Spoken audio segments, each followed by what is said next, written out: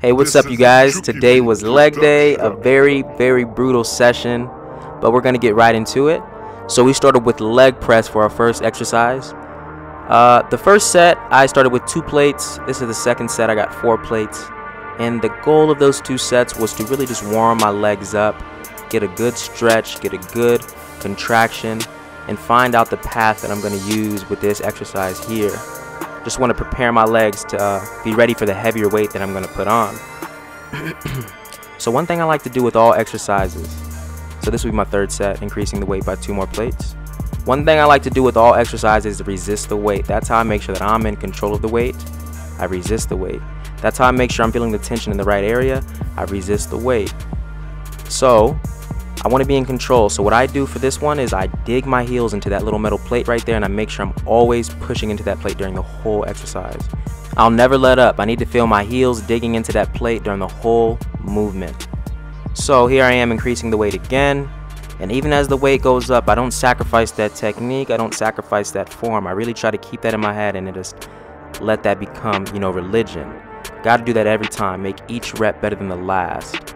So that's my primary focus. Feeling the tension in the right areas, feeling the tension in my quads where I want to feel them, or my hamstrings wherever I want to target, being in control of the weight the whole time, and keeping that form no matter what the weight.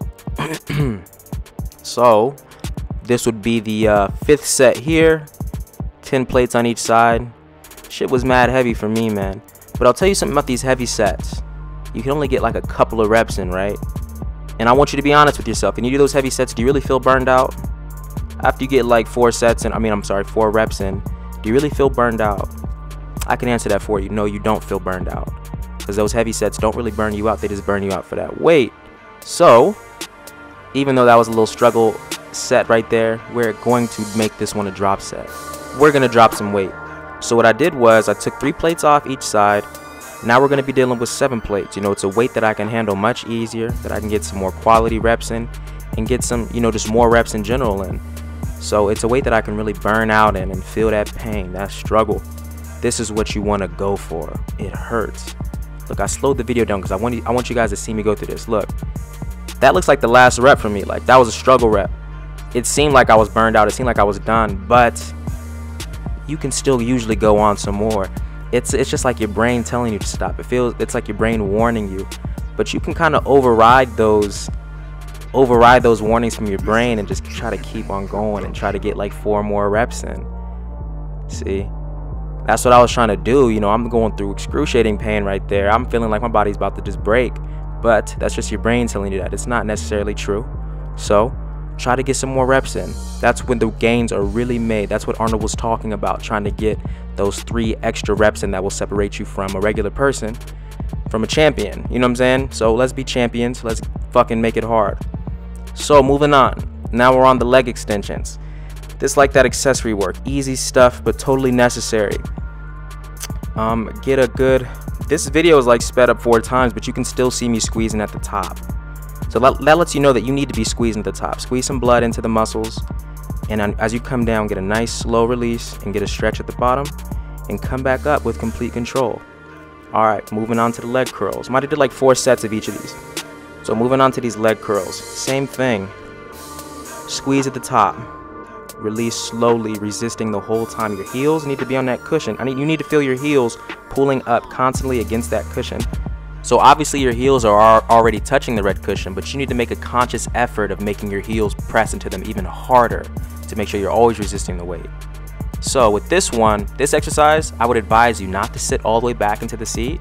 I'd advise you to sit up, grab the bottom of your chair, and then you're just gonna pull from your hamstrings all the way to the bottom right there. You're gonna pull. Keep your toes pointed towards the ceiling as I did right there, and just pull from your hamstrings and your glutes. You're gonna feel it get all tight. You're gonna feel a connection. You're just gonna pull each and every time and just in a, in a slow, controlled manner. All right, so moving on to the stiff leg deadlifts. I was looking for a nice compound exercise to target my hamstrings more because that's something I've really been lacking on. So, stiff leg deadlifts are perfect for that. As you can see, I also put the weights beneath my feet. This is going to allow for a deeper stretch into my hamstrings when I get to the bottom of the movement and then you're going to push through your heels and come right back to the top and repeat that. So with stiff leg deadlifts, you are supposed to keep your knees just about locked out and keep your legs as straight as possible. But for some reason that was it just felt very uncomfortable doing that so I compromised a bit and as you can see I'm bending my knees but I, I did my best. Some of you guys maybe ha might have a little bit more mobility and you guys can do them with perfect form. I came up in weight added a 25 pounds on each side. Now with stiff leg deadlifts I wasn't looking to go too heavy because they you just seem like you're right. If you're not careful it seems like you can really you could injure yourself.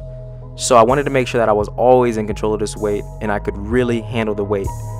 So I came up again with 25 pounds and that's as heavy as I went with the stiff leg deadlifts. Didn't want to snap nothing, break no limbs and nothing like that. So we kept things a little careful, but it felt good. I don't do stiff leg deadlifts too often and it was a good switch up. I'm sure my hand my hamstrings benefited from it. Now, to end the workout, we're going to end with squats. We're going to do these bad boys on the Smith machine. And the goal of these squats was to just go heavy. So I started with I started with one plate to warm up a little bit and then came right up to three plates, just trying to burn out, get some blunt force trauma, bang them quads out and get some growth. So that was the idea with these squats. Um, added weight, this would be three plates and 25, added 25 pounds. Same goal in mind, going heavy, burning out. Not trying to save no energy. This is the last exercise Right after these, I will be done. I'll be leaving the gym. I want to make sure that I gave it my all. Want to make sure that I left no stone unturned. So, we can actually expect some gains, you know what I'm saying? Because if you bullshit and you can't even expect nothing, don't go don't go home and asking why you ain't looking in the mirror and asking why you ain't big. Did you really go in it? Did you really go hard? Did you really embrace the fucking grind? Did you embrace the pain? That's what you got to do. So, now, this was that last set, came back down to weight to two plates and just burned out. Didn't save nothing, burn out. That's the end of my leg day, guys. I hope you guys enjoyed it. It was fucking brutal.